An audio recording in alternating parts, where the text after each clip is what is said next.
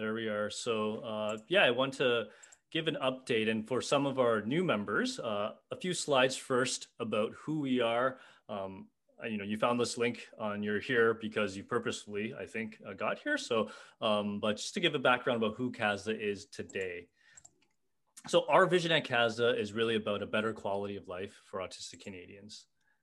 And as a constructive policy generator, CASDA aims to identify emerging policy gaps and create systems change by guiding the development and implementation of a national autism strategy.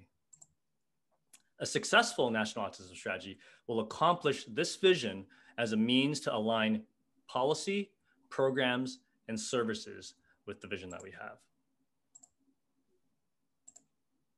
So before I get into uh, what's what's ahead, we want to talk about where we came from. It's really important to understand the legacy and, and the work that CASDA has done uh, for us to know where we're going. So year in review. I'll take the next 10 minutes or so uh, to walk through some of the highlights, um, obviously not doing justice to many of the projects and uh, a lot of the work of, of staff and, and partners and members uh, who are on this call that have uh, created this incredible piece of work. So our strategic plan uh, was to uh, had three pillars. First, collective voice, bringing people, organizations, and ideas together. Secondly, federal advocacy, engaging at the federal level with policymakers on issues that impact autistic individuals. And thirdly, operational excellence, making sure we have a, a resource management system that supports our mission and building that up. So I'm gonna start off with some federal advocacy uh, pieces. So everybody here uh, is probably familiar with the blueprint, which was released in 2019 before the election. Uh, we moved, we looked at these as areas of federal jurisdiction, uh, which we could act, we can uh, bring to the government, the federal government, to action a national autism strategy. We followed that up last year, uh, last March, with the roadmap to a national strategy. Uh, this was uh, published the week before COVID came to Canada. So uh, some of these deadlines are a little shifted, but it still provides a robust, strong roadmap uh, that will inform how we continue to move forward and what you can expect uh, with some of the timelines on the top row shifted a bit. And these documents are all available on our website. Uh, and from there, we worked with Kids Brain Health Network uh, to do some research, uh, do some policy scoping analyses of international perspectives about uh, autism strategy and disability strategies, what that looked like around the world to have some comparative policies. And uh, coming to today, through this partnership, uh, we had developed a policy compendium. And these compendium themes align with the Canadian Academy of Health Sciences work on the consultation for the national strategy. And today we've created this compendium tool on our website to make conversations around policy more accessible and more user friendly. So for each of these themes, we have links to the various policy briefs that were developed by the policy fellows last year, summarizing recommendations that stakeholders from across the country, many of you who are involved uh, in these groups, uh, to into bite-sized social media posts, um, into policy briefs, into sort of highlights and uh, key summaries that will help us engage with the community and with government partners. Next, collective voice. So uh, as Debbie already mentioned, we started off with some webinars as we had to quickly pivot, pivot to an online format. Uh, these webinars are really to inform, to advocate, um, and more importantly, to equip and empower others to do so. So here's just some of the snapshots of some of the ones we did during the year um, at the U United Nations Convention of the Rights of People with Disabilities. Uh, with the uh, Disability and Work Conference, uh, usually held in Ottawa, with Ryerson University, um, with uh, Canada's, uh, sorry, Children's Healthcare Canada, a podcast at the Kids Brain Health Virtual Conference um, with the United Nations Department once again. And we also held the uh, Leadership Summit, which we knew we had about we had 260 participants uh, come across Canada and internationally, actually, uh, that participated in the summit last year. And this is just a program from the summit last year, and I'll talk about this year and what we're planning. And last, we also launched a podcast series in partnership with Spiros Careers Canada. Uh, right now, we're averaging about two uh, episodes per month, and there's seven episodes to date. And we're uh, planning to continue uh, with a lot of interest to highlight the work of CASDA and also those who work with us. In operational excellence, so I'm going to walk through some of the projects that we have uh, uh, done at CASDA ourselves. So first, uh, in partnership with Ready, Willing, and Able, uh, looking at autism and employment, we have an autism employment policy scan looking at the different policies around getting employment and sustaining employment uh, supports uh, across the country in each of the regions, uh, provinces, and territories. There was an employment recovery program that was put in place after uh, COVID-19 hit. Which led into the inclusive workplace, which we just launched as a hub of resources um, for employers, for community organizations, and for employees. And also the Autistic Voices Project to gain, gather the stories of uh, autistic job seekers or ones who are in jobs and how COVID has affected them. So on the uh, policy scan, uh, there will be the deliverables this coming year, a report for all CASDA members, and also a resource uh, for these three groups, which I just mentioned earlier.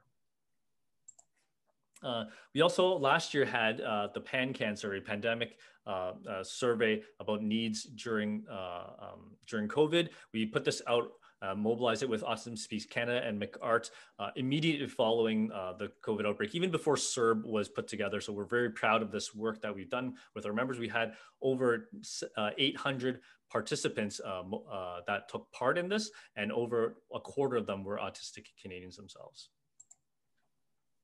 And uh, the, the survey and, and the, the infographic and the brief can be found on the website and on Autism Speaks Canada's website as well. Uh, last, uh, not lastly, there's still a few more to go, um, but with the Azrieli Foundation, uh, they have funded a new work we are doing to create uh, build, have a building block for an autism data network. And this is to create a foundation for comprehensive integrated data network in Canada. Uh, in collaboration with our partners, we're not doing this ourselves, um, but we are here to be the hub and build that network, uh, making sure we're all coordinated and looking at data the same way in regards to autism across the country, both at the administrative data level and at the clinical level. And I'm um, proud to say that we have uh, Dr. Deepa Singal uh, joining us uh, to do this work. Uh, she's a professor based at the University of Manitoba. The project objectives in a little bit of detail, and we're going to hear a little more from our guest speaker uh, on this, um, but to bring together data scientists, stakeholders of different sorts from across the country, set the foundation for that data network, and support the PARC research program, which you'll hear about in a little bit.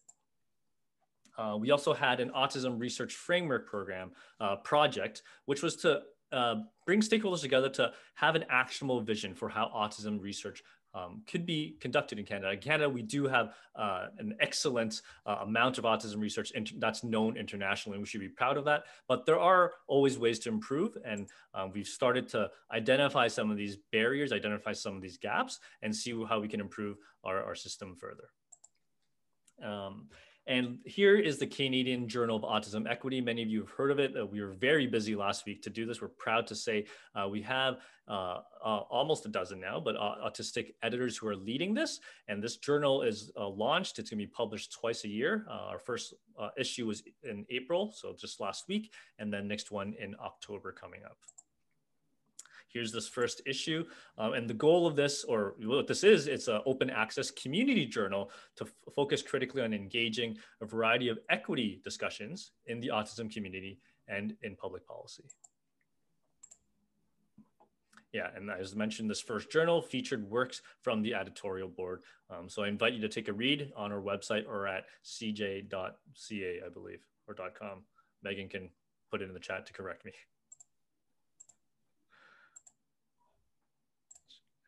And looking forward. So that's a, a, really quick whirlwind of what we've been doing this past year. Uh, it seems like yesterday, um, you know, when when all this started, and look how much we've accomplished. Uh, looking forward, I, I, you know, I'm gonna kind of fly through some of the projects going forward. Again, not doing justice to a lot of them, but two principles that we're going to be thinking about um, and looking forward in this next year.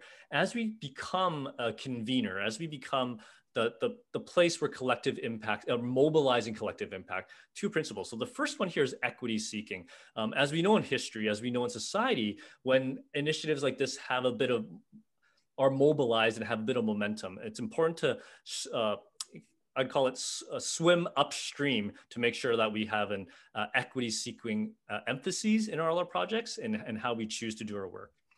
And secondly, to make sure we're data driven. So uh, similarly, we want to make sure that you know, in today's world with the with the onset of social media, with the onset of uh, different sources of news to make sure that we are focused on the data, that uh, reality isn't misconstrued and policies and practices aren't informed by uh, things that aren't true. So um, these two principles will really drive how CASDA will move forward. So equity seeking and data driven.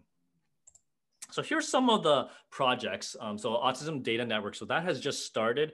Um, Deepa has just joined us. So we will be uh, launching that. It's a two-year project there. Uh, the CASDA KBHN Policy Fellowship. So last year was a success with the five working groups we did with Kid, Kids Brain Health Network. Um, we have six, seven fellows joining us this year, and uh, we will be holding. Uh, they will be doing some continued work on developing policy uh, with you, with stakeholders from across the country on autism policy. Um, we will be doing some accessibility work, a visual work from home guide um, for autistic Canadians and employers and other stakeholders. And, you know, because virtual work is with us to stay, what are the barriers in doing so? And we, we have a, a collaboration with Microsoft that's continuing to grow uh, for that. Autistic Voices 2. So we had Autistic Voices 1, which was to just to remind you um, to hear the stories of autistic Canadians uh, after COVID, what's gone on in terms of their employment. Um, we realized, um, bring this equity seeking idea along, that uh, we a lot of underrepresented uh, populations of Canada uh, weren't part of those stories. So we're going to actively look and, and try to raise their narratives and their stories as well. Uh, Summit 2021 uh, is going to occur. We're uh, live and well uh, with our summit committee and moving forward. October 6th and 7th of this year is the dates. So pin that to your calendar. Uh, we will be virtual. Uh, maybe we're, we're planning to host some watch parties for uh, local community gatherings or um, local gatherings as public health guidelines allow us, but we will have a virtual platform that will be the backbone of it all. And lastly, uh, this year, uh, the United Nations uh, Convention on the Rights of Persons with Disabilities uh, is having their civil society report uh, due. So we will be part of that process, working with many of the other uh, disability organizations. We are we are partly in, in, leadership of a Pan Disability Leadership Coalition that we're trying to form with the minister and, and work with these other organizations. So those were some of the highlights. Uh, you can look forward to this summer. We're going to start some community roundtables. This is related to the work with Kids Brain Health, uh, where we will do some stakeholder mapping uh, to build on the policy compendium that was made last year. And we're looking for your involvement, your expertise uh, in doing so. And this is just to test your eyes, really.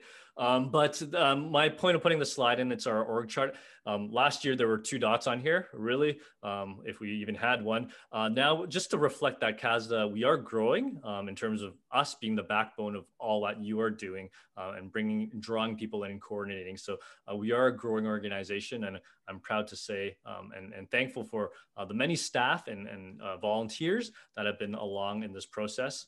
And uh, we're looking forward to further work. So, in the development of autism related policies and processes, what are we now? We are really the convener. We want to be that place where the uh, autism community comes together. We are the incubator of these innovative ideas, including the Autism Data Network. And how do we do this? We do so by working together to foster consensus, to pilot innovation and bring together emerging practices from you, our members, to the federal government. So that is our role. That's how we're going to position ourselves in this coming year as we move alongside with the Canadian Academy's uh, consultation process uh, to make sure it's robust, to make sure that as the national autism strategy is being put to work, that it is something that will last and have impact on the ground to affect the lives um, of the people we care for.